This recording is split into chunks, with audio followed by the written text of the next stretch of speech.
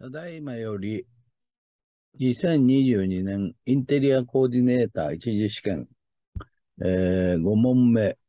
西洋のインテリアの歴史の出題予想について、えー、説明いたします。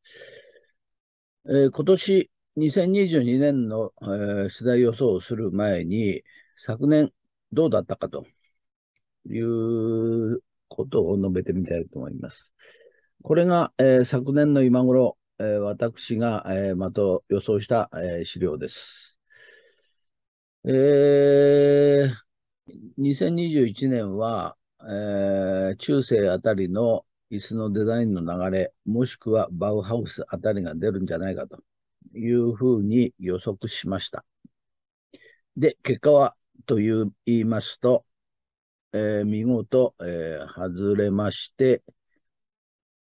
えー、第二次世界大戦以降の、まあ、椅子の歴史といいますか、が出題されましたよということです。で、この資料をちょっと私、えー、まとめてみまして、ちょっと驚いたのですが、実は2021年と2019年はほとんど、えー、問題が同じ分野で、出し方はちょっと違いますが、えー、ハンドブックの穴埋め問題ということで、1年おきに全く、えー、同じ箇所が出題されています。非常にある意味偏った出し方をされたということになります。で、それを踏まえまして、今年はどうかなということなんですが、やはりどう考えても、えー、西洋のインテリアの歴史は中世から近世のこの辺が昔から、えー、よく出題されます。で、これが一番メインのゾーンなので、そろそろ、えー、出てもいいのかなというふうに思っております。で、この辺のゾーンの出し方は2種類ありまして、えー、椅子の、えー、様式の流れをメインに、えー、出すやり方と、デザインの様式を絡めてや出すやり方と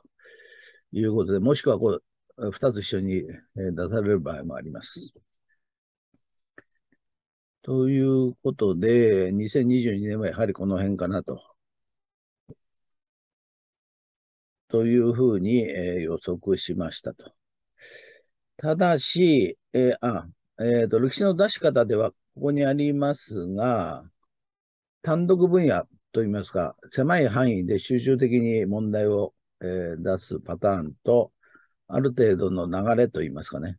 こういうふうに、えー、ロマネスからアリーアメリカンぐらいまで含んだ、えー、今後問題といいますか、そういう出し方は2つであります。で、やはりこの辺の中世から近世に関しましてはデザインの流れみたいな出し方がよくされます。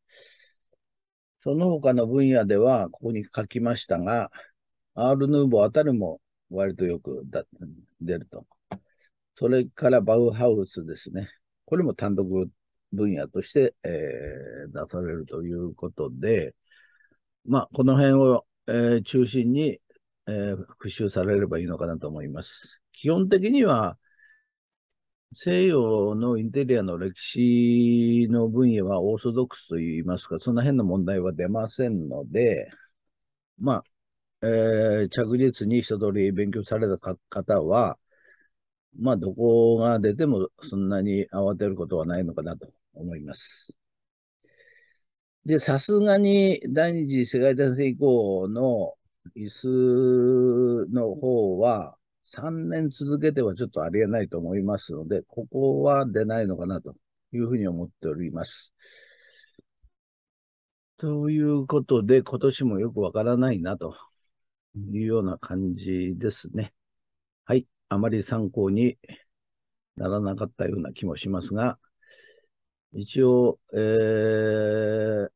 頭の整理は多少できたのかなというふうに思っております。以上で説明を終わります。